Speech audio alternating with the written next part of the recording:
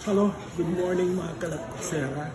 This is a date with my only nephew, my psychologist, John Vincent. We haven't gone out for a long time because he's very busy with his review and uh, I've learned that it will be extended in August.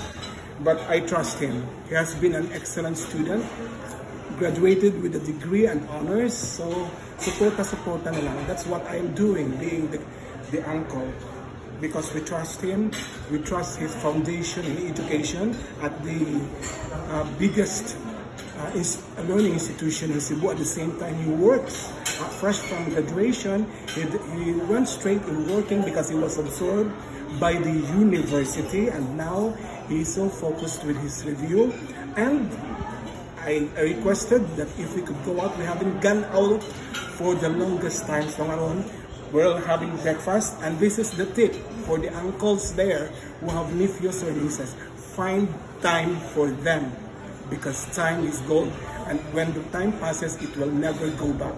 Mas mabuti nang you invest on time and love and care not on material things to your family. Thank you. How I wish we are here. Na nagig ko itam kan Vincent. Ako panigihang yo na pani siya unsa ni siya Napani siya limitado ang oras until 8 o'clock daw in the morning.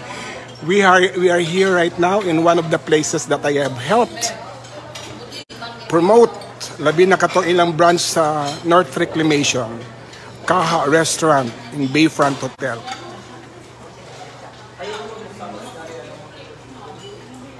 Great si mama ni Musen. Morning mga kista. Oh, si Kim. O si, ano, si Attorney Ralph, Attorney Kim. Attorney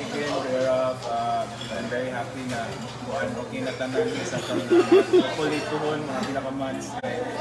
Isa pa dyan mo unfold pa tanan. So I hope Ah, marriage plan, wedding plan. Nila? Sa, pero what lang kasi yung mga Ah, invitation. okay. Oo. I am very happy nga. I have time right now with my only nephew. Readying for the board exam. My psychologist who graduated with honors. So Attorney Kim, Attorney Ralph, tabangan nato ni sila. And by the way, today is also the exam of Dayan, no?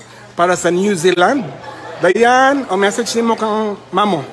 uh, I just hope na you, you manage yourself, especially na we are a family of uh, anxious, anxious tayo, especially Successful. uh, although not successful, but I hope na ma-manage rin mo yung anxiety and Yes, yeah, anxiety. Di, ay, yeah, yeah. What did you say about her anxiety?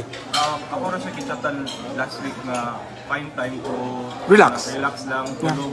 Tulog kayo. I, I said the same thing. Mom, si reason mo taas yung BP. So, basta kayo, no matter sa may results sa imong exam, okay ra dyan na siya. Hopefully lang sa imong self. So, least Indeed, indeed, indeed. For, she will do it for herself, not for anyone else. Yeah. So, I I hope na mao ni makakita happiness sa imong. True. Very, rightly said. Kang mama ni mo, message. Kuan, chill lang drama. So, uh, Chill lang. Sige lang pagwapa, sige lang. Oo, sige lang pagwapa. Uh, we are doing fine here. Basta adjusting paghihapon pero oh, we're okay. Ning, your, your son is doing very well. Ah, ikaw dira na sige na. sige na, enjoy lang yun basta pagwapa lang yun ka. Ah, relax lang yun. Enjoy life. Mao man ang gusto ng ato mga pagum ng imo mga anak ug ako mga pagmangkon. We have to take care of ourselves and just simply enjoy life. Okay? Thank you, Sen. Good morning, mga kalakwat sere. Uh, I have been bashed recently sa TikTok with the videos I have uploaded. And I, I was so appreciative with one comment that I received. Because that person was really surprised why people have have been bashing my the content or the videos that I have submitted. I thank him or her for that, for being so compassionate with uh, his or her comment sa mga bashers. Kung anong sinasabi niyo, yun ay reflection ng pagkatao niyo. So how can I di, um, how can I magnify that or uh, give importance to an opinion of a person that I don't know? What concerns or what what will cause me to react on some on, on some comment? Yung mga taong mahal ko at yung mga taong kilala ko, yung mga comments lang nila matters me. But for those non-entity, I will never dignify your comment. Sa mga bashes, I remind you, alam ko bakit galit na galit kayo sa mga videos ko. Because rarely you can find a 60-year-old gay who can do anything he wants in life. He can sing, he can dance, he can travel, he can eat, he is everywhere. Yan pa lang, cause of envy na yan.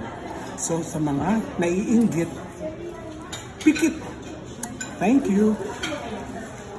Okay, mga kalakwatsera, good day. I'm I spent my very value valuable time with my only nephew, John Vincent, my psychologist. Always value your family. That is your last refuge. Mawala ng ubang tana, ubang, ubang mga tao, but never disregard your family. And by the way, I am addressing again the bashers who have tremendously said mouthful of bad languages. Let me reiterate, kung anong sinasabi mo, yon ang refleksyon ng pagkatao mo. The words that you use, that you utter, uh, utter or click online reflects the kind of a person you are.